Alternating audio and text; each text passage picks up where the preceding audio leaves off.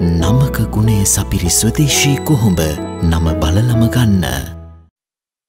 පූර්ණ එන්නත්කරණයට ලක්වැති පුද්ගලීන්ට වද ඇතැම් විට COVID-19 වෛරසය ආසාධනය වීමට හැකි බව අධ්‍යනයකින් හෙළිව ඇතැයි ශ්‍රී ලංකා වෛද්‍ය සංගමය පවසනවා. ඔවුන් පෙන්වා දෙන්නේ එවැනි පුද්ගලීන්ට උන කැස්ස වැනි මෘදු රෝගලක්ෂණ පමණක් ඇතිවන බවයි. කෙසේ වෙතත් වෛද්‍ය විද්‍යාත්මක අධ්‍යනයකින් හෙළිව ඇත්තේ පූර්ණ එන්නත්කරණයට ලක් වූ සුළුතරයකට බරපතල රෝගාබාධ ඇතිවීමේ සම්භාවිතාවක් පවතින අතර ඇතැම් විට ජීවිතහානි පවා ඇතිවිය හැකි බවයි. එය අනුව වයස අවුරුදු 60ට වැඩි සහ දුර්වල ප්‍රතිශක්තිකරණ පද්ධතියක් ඇති පුද්ගලයින්ට තුන්වන එනත් මාත්‍රාවක් ලබා දෙන ලෙස ශ්‍රී ලංකා වෛද්‍ය සංගමය ඉල්ලීමක් කරනවා. එම නිවේදනය මගින් පෙන්වා දෙන්නේ එම පුද්ගලයින්ට තුන්වන මාත්‍රාව ලෙස ඇස්ට්‍රසෙනිකා ෆයිස හෝ මොඩර්නා එන්නත් ලබා දීමට යෝජනා කරන බවයි. අවුරුදු 12ත් 18ත් අතර ළමුන්ට COVID-19 හේතුවෙන් දරුණු රෝගී තත්වයකට ගොදුරු නොවන බවත් රෝගී තත්වයක් සහිත දරුවන්ට එම වෛරසයෙන් දරුණු සංකුලතා ඇතිවිය හැකි බව පෙන්වා දෙන ශ්‍රී ලංකා වෛද්‍ය සංගමය නිර්දේශ කරන්නේ ඔවුන්ට ෆයිස එන්නත ලබා දෙන ලෙසයි. මේ අතර කොවිඩ් මර්ධන එන්නත ලබා දීම දිවිනේ දිස්ත්‍රික්ක කිහිපයකදීම අදත් සිදු කෙරෙනවා. කොළඹෙන් පිට ප්‍රදේශවල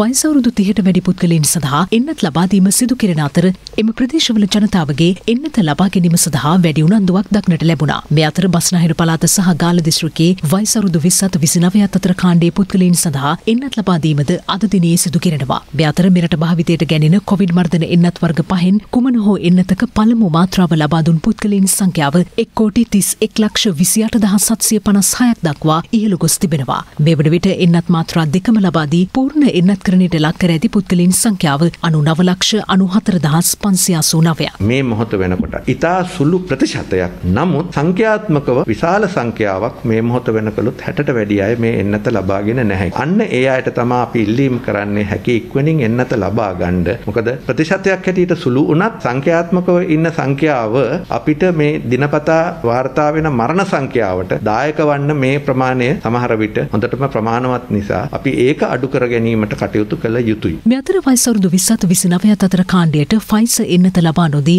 එය පාසල් දරුවන් සඳහා වෙන් කරන ලෙස රජයේ වෛද්‍ය නිලධාරීන්ගේ සංගමය සෞඛ්‍ය අමාත්‍යවරයාගෙන් ඉල්ලීමක් කර තිබෙනවා. ඒ ඊයේ එම සංගමය සහ සෞඛ්‍ය අමාත්‍යවරයා අතර පැවති සාකච්ඡාවකදී. අවුරුදු 20ත් 29ත් අතර පිරිසට නිර්දේශිත එන්නතක් තමයි සයිනෝෆාම් එන්නත. ඒක අපිට මේ වෙන විට අවශ්‍ය තරම් තොග ලැබෙන නිසා මේ ෆයිස එන්නත ඒ කාණ්ඩයට වෙන් නොකර ඒක පාසල් දරුවන් සඳහා වෙන් කරලා අර කාණ්ඩයට අවශ්‍යතාවයක් තියෙනවා නම් ෆයිස එන්නත වෙනුවට සයිනෝෆාම් එන්නත භාවිතා කරන්න කියන කාරණය තමයි අපි ඉදිරිපත් කරේ. ඒ සම්බන්ධයෙන් ඉතාමත්ම ධනාත්මක ප්‍රතිචාරයක් සෞඛ්‍ය අමාත්‍යතුමා දැක්වුවා. එතුමා පොරොන්දු වුණා මේ සම්බන්ධයෙන් අවශ්‍ය ක්‍රියාමාර්ග ගන්න කියලා. ඒ වගේම සෞඛ්‍ය සේවා අධ්‍යක්ෂක ජෙනරාල්තුමා ප්‍රකාශ කරා මේ වෙනුවට නිර්දේශ ගැනීම සඳහා එතුමා කටයුතු කරමින් යනවා කියලා ළමා රෝග වෛද්‍ය විශේෂඥයන් ඇතුළු ඒ විශේෂඥ පිරිසකින් මේ අතර COVID-19 ආසාදිත මරණ 185ක් පෙරේදා සිදු වූ බවට සෞඛ්‍ය සේවා අධ්‍යක්ෂ ජෙනරාල්වරයා ඊයේ තහවුරු කළා. ඉන් මරණ 102ක් පිරිමි පුද්ගලයන් වන අතර සෙසු මරණ 83 කාන්තාවන්. ඊයේ තහවුරු කෙරුණු ආසාදිත මරණ වලින් 140ක්ම වයස අවුරුදු 60 හෝ ඊට වැඩි පුද්ගලයන් වන අතර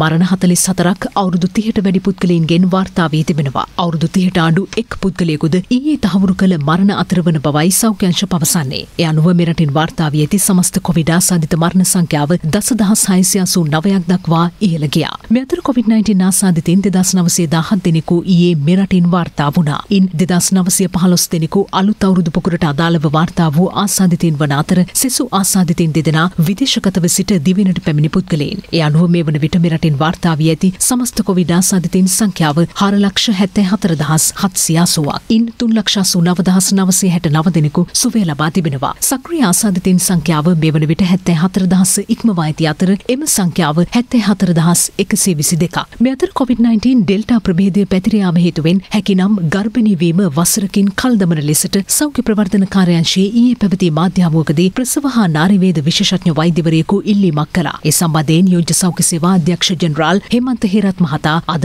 අදහස් පළ කළා. රජයේ මතය ප්‍රකාශ කිරීමට නෙවෙයි විශේෂඥ වෛද්‍යවරු හැටියට මේ සම්බන්ධයෙන් එවුන්ගේ අදහස් ජනතාවට දැනගැනීමට සැලැස්වීම තමයි අපේ පරමාර්ථය. ඒ නිසා මේ වෛද්‍යවරු ඇවිල්ලා කියන දේවල් සෞඛ්‍ය අමාත්‍යාංශයේ මතය හැටියට අපිට ප්‍රකාශ කරන්න බෑ. නමුත් මමත් හිතනවා එතුමා කියපු දේ හරි සාධාරණයි. ඒක කිව්වේ මේ අවස්ථාවේ තියෙන දරුණු තත්ත්වයේ යටතේ ගර්භණී මාතාවන්ට තියෙන අවදානම නිසා හැකියාවක් තියෙනවා නම් මේක ප්‍රමාද කිරීම අපේ යහපතට හොඳයි කියලා. බලපෑම් කිරීමක්වත් බලයපෑමක්වත් එහෙම දෙයකට නෙවෙයි දැනුවත්ව ගන්නා තීරණයක් ගැනීමට උදව් කිරීමක් පමණයි එම විශේෂඥ වෛද්‍යවරයා කරේ.